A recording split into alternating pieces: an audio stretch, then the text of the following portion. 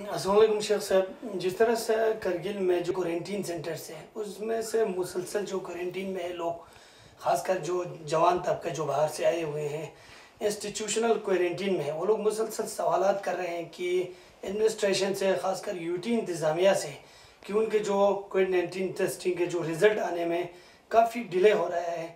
और इस इस पूरे इशू पे आप किस तरह देखते हैं? जी हमारे एडमिनिस्ट्रेशन से भी आ, और हमारे यूटी एडमिनिस्ट्रेशन हमने डी कॉम से भी ये बात उठाया था।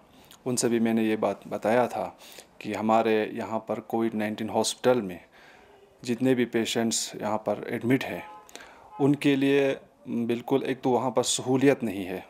न, पानी का ठीक तरह से सहूलियत नहीं है। बार बार शिकायत करता है, लेटरिन का बहुत प्रॉब्लम है और नमाज़ पढ़ने का भी वहाँ पर इंतज़ाम कुछ नहीं है, कह रहा है। जहाँ तक इनका कहने का मुताबिक मैं कह रहा हूँ। और मज़ीद इन्होंने ये शिकायत किया कि ये रिपोर्ट मैंने आगे तक एलजी साहब को भी भेजा है और मैंने ये हमारे डी कॉम से भी हमने इस बारे में बात किया है। उसमें यह है कि देखिए, अभी तक हमारे कोविड नाइन्टीन लेब जो छुछत लेह में खोला गया है, उसमें हमारे लेह के कारगिल के बहुत टेस्ट इसमें बिल्कुल बहुत ही कम है, जितना लेह का लेह के बनस्बत हमारे कारगिल का बहुत ही कम है। मसलन हमारा टेन परसेंट भी उसमें टेस्टिंग नहीं हो रहा है, डेटिंग के हिसाब से।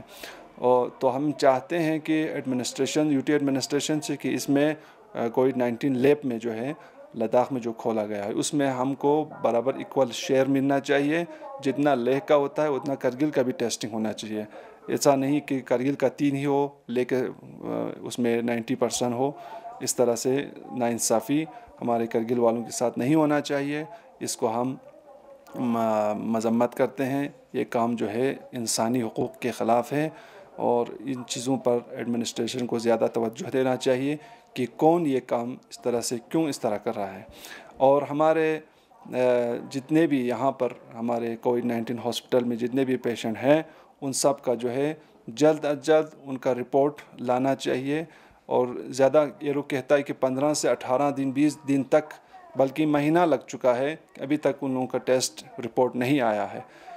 और इनका जो है बराबर टाइम टाइम पर इनका रिपोर्ट आना चाहिए और लेह में कोविड नाइन्टीन लेब में जो है बराबर इक्वल शेयर हमारे करगिल वालों को भी मिलना चाहिए। ये फ़कत लेह के लिए नहीं है, ये पूरे डिस्ट्रिक्ट पूरे ख़त लद्दाख के लिए है। तो इसमें हमारे लिए बराबर इक्वल शेयर मिलना चाहिए। इस तरह से हमारे लोगों के ऊपर ज़्यादा नाइंसाफ़ी हम बर्दाश्त नहीं करेंगे।